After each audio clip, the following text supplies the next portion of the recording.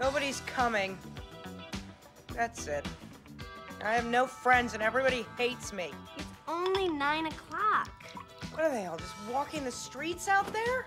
Just walking the streets like zombies because it's too uncool to be prompt? Do you think there's gonna be any interesting guys here tonight?